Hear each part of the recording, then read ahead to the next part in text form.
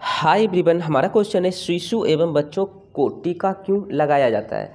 तो शिशु एवं बच्चों को, बच्चों के शरीर में प्रतिरक्षी उत्पन्न करके रोग रोग कारक सूक्ष्म जीव को नष्ट करने के लिए टीका लगाया जाता है।